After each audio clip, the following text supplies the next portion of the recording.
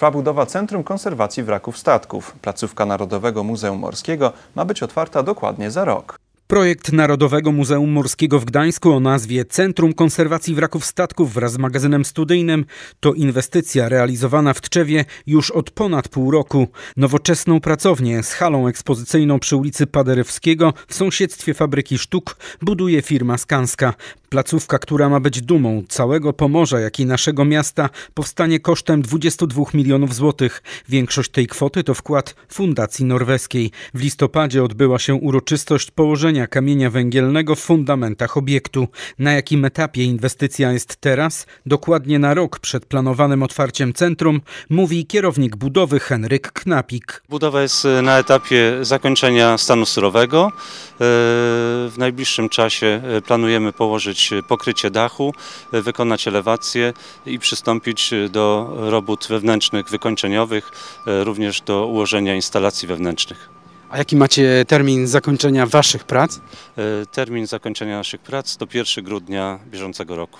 I wszystko zgodnie z harmonogramem? Były jakieś tutaj e, przeszkody? Macie jakieś opóźnienia? Nie, działamy zgodnie z harmonogramem. Jesteśmy zadowoleni. Centrum Konserwacji z magazynem studyjnym ma być miejscem, w którym remontowane będą i pokazywane zarazem większe elementy wraków wyławiane z wody. Tu eksponowane będą również zabytkowe jednostki, jak i mniejsze muzealia. Ma być to miejsce zarówno dla pasjonatów, znawców tematu, jak i dla dzieci, młodzieży oraz całych rodzin. W projekt wpisane są elementy wykorzystujące nowoczesne technologie, pozwalające na przeprowadzanie ciekawych lekcji edukacyjnych.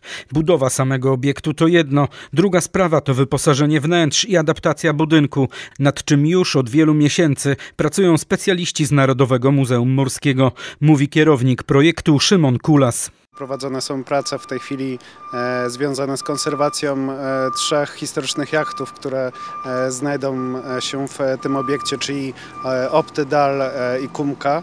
E, dokonujemy pierwszych zakupów e, wyposażenia, między innymi e, zakupiony jest skaner do e, 3D, e, mm, zakupione jest, zakupywane jest specjalistyczne wyposażenie pracowni konserwatorskiej, która znajdzie tutaj swoje pomieszczenia i będzie pracować.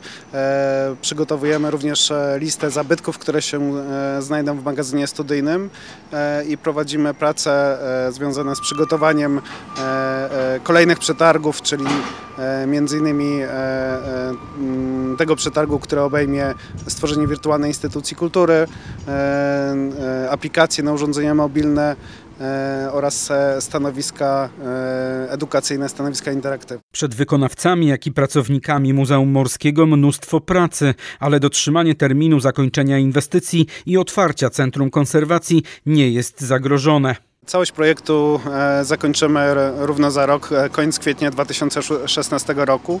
Dlatego zapraszam Państwa już teraz e, do zwiedzania nowego obiektu końcówka kwietnia 2016 roku.